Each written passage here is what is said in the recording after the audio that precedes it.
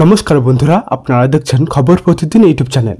বন্ধুরা, যেমনটা কিন্তু আমরা এখন সবাই ভালো মতোই জানি যে এখন কিন্তু মমতা সরকার ও মোদী সরকার রাজ্যের সাধারণ মানুষদের জন্য একের পর এক নতুন নতুন সুবিধা দিয়েই চলেছেন।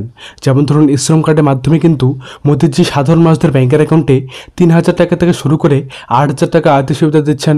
আর অন্যদিকে কিন্তু মমতা সরকারও লক্ষ্মী ভাণ্ডার প্রকল্প থেকে শুরু করে কন্যাশ্রী, রূপশ্রী, যুবশ্রী, অন্যদিকে বার্ধক্য ভাতা থেকে শুরু করে বিধবা ভাতা, এছাড়াও কিন্তু আরও অনেক রকমের প্রকল্পের মাধ্যমে রাজ্যের সাধারণ মানুষদের সাহায্য করে চলেছেন এই দুই সরকার। তো বন্ধুরা, আজকেই কিন্তু মোদী সরকারের তরফ থেকে প্রত্যেকটি গরিব ও খেটকা মানুষদের জন্য আরও একটি নতুন প্রকল্প শুরু করা হলো, যেটা আওতায় কিন্তু রাজ্যের প্রত্যেকটি গরিব ও খেটকা মানুষ তাদের ব্যাংকের অ্যাকাউন্টে পেয়ে যাবেন তিন হাজার টাকা একদম ফ্রিতে তবে বন্ধুরা, এই প্রকল্পে আবেদন করতে হলে কিন্তু আপনাকে কিছু গুরুত্বপূর্ণ শর্ত পালন করতে হবে। তো এখানে দেখুন হেডলাইনে বিষয় পরিষ্কার করে বলা হয়েছে যে সারা দেশ জুড়ে চালু হলো মোদীজির নতুন প্রকল্প। আবেদন করলেই প্রতি মাসে তিন হাজার টাকা পাবেন। তো কীভাবে আবেদন করবেন? কি কি ডকুমেন্টস লাগবে? আর কারা কারা এই প্রকল্পে আবেদন করতে পারবেন? এই সব কিছুই কিন্তু আজকে আমি আপনাদের এই ভিডিওর মাধ্যমে জানিয়ে দেবো।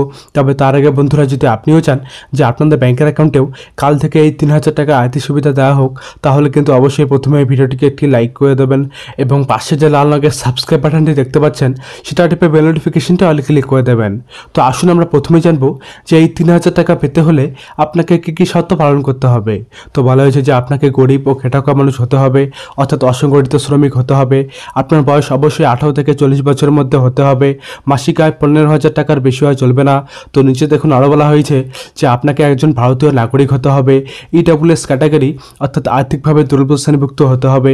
যে সমস্ত ব্যক্তিরা ইনকাম ট্যাক্স দিয়ে থাকেন এবং ইপিএফও এনপিএস বা ইএসআইসি এর সদস্য, তারা কিন্তু এই তিন হাজার টাকা সুবিধা নিতে পারবেন না। তো এবার জানব যে এই প্রকল্পে আবেদন করতে গেলে আপনাদের কী কী ডকুমেন্টস লাগবে? তো বলা হয়েছে যে সেভিংস ব্যাঙ্ক অ্যাকাউন্ট বা জনধন অ্যাকাউন্ট লাগবে আর আধার কার্ড ও মোবাইল নম্বর লাগবে। তো এবার সবার লাস্টে জানব যে আপনারা কীভাবে এই প্রকল্পে আবেদন করবেন?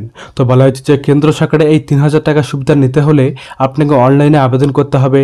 যে অফিসিয়াল ওয়েবসাইটে গিয়ে আপনারা আবেদন করবেন, সেটা হলো মানধন ডট ইন। এই ওয়েবসাইটে আসার পর click here to apply now করতে হবে। তো নিচে দেখুন আরও বলা হয়েছে যে এরপর সেলফ এনরোলমেন্ট অথবা সিএসসি ভিএলই যে কোনো একটি অপশনে ক্লিক করলেই আবেদনপত্র চলে আসবে।